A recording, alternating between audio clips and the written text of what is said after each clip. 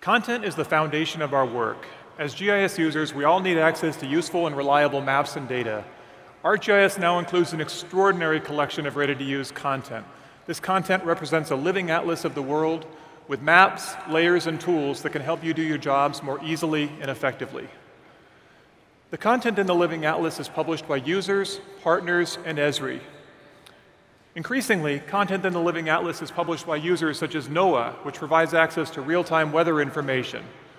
Content is also published by Esri partners such as Nearmap and Hexagon, which provide access to very recent high-resolution imagery that you can find in the ArcGIS marketplace.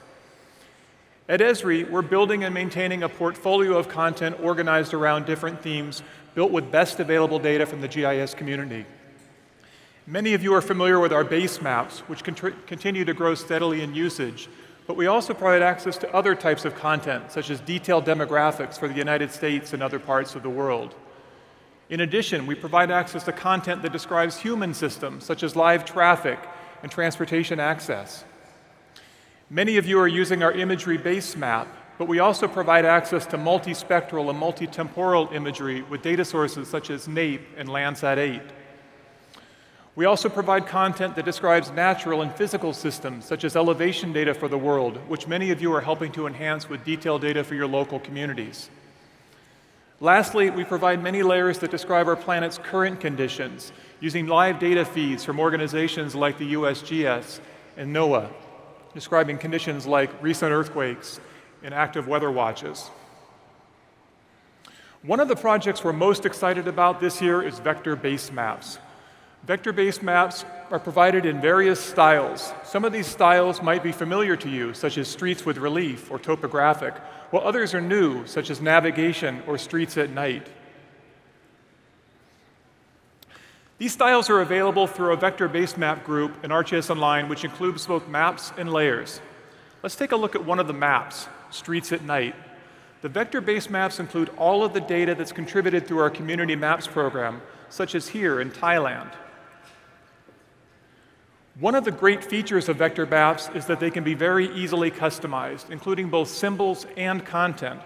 For example, this is the same map of Bangkok in our street style and using local language labels. These are other examples of custom styles that have been created by users. Some are simple color variations, like the maps you see on the left, while others are more advanced types of restyling, such as the modern antique map that you see on the right. This map includes custom fonts and symbols, which is most notable in places like Frankfurt, Germany, another Community Maps contributor, where you can zoom in and see handcrafted symbols for features like landmarks and trees.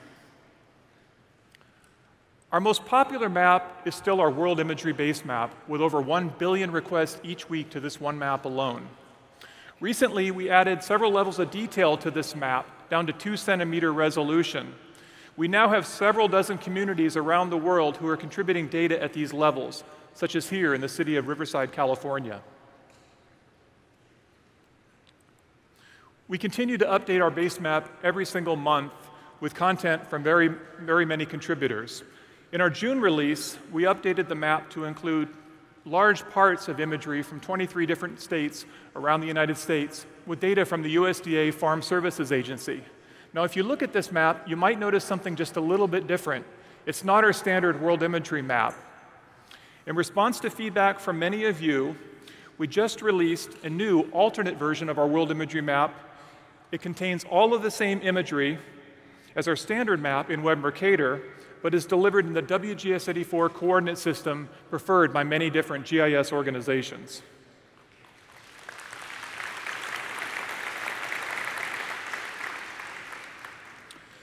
Looking forward, we will continue to enhance the World Imagery Base Map.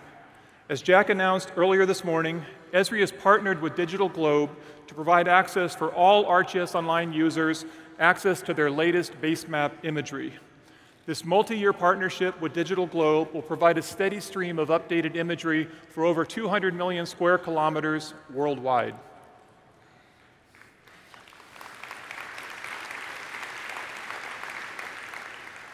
The first updates for this will go online later this year. Now I want to show you just one last thing. As I mentioned earlier, the content in the Living Atlas is truly living. A great example of this is our newest live feeds map showing the U.S. National Water Model from the National Water Center. This map provides a 10-day forecast of water flow at three-hour intervals for the 2.7 million reaches of the United States. Areas of the river system below normal are shown in red, areas above normal in blue. This map is time enabled so we can see how water pulses through the nation's river systems. On behalf of the Esri content team around the world, I'd like to thank all of our users and partners who've contributed their valuable maps and data to the Living Atlas, and we look forward to working with even more of you going forward to help it grow. Thank you.